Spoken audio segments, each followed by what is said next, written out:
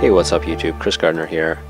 I uh, haven't had much to post lately and you know what, we got a really nice day of some fresh snow as you can see here, all fell at once, first of the season, which happened to line up with me getting a new GoPro Hero 8 Black and I wanted to share some of the footage I got from just uh, a first quick day out with it.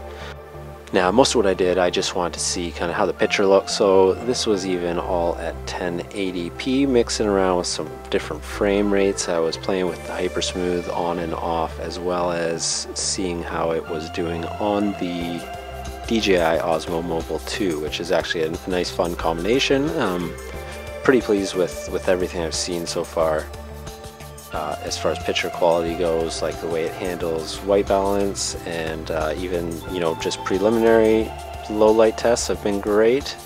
So I'm looking forward to what I can do with that. Last uh, GoPro I had was the Hero 6 Black and the low light left something to be desired for me. It looks like this is actually quite a step above. So I've actually used the the GoPro 6 in real estate tours and I think I'm going to be able to get even better looking ones with this Hero 8. Uh, so I'm going to share some more information about how I intend to do that and how I've done it in the past.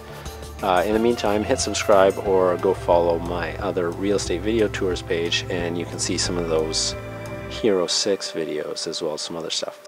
Thanks for watching and we'll see you next time.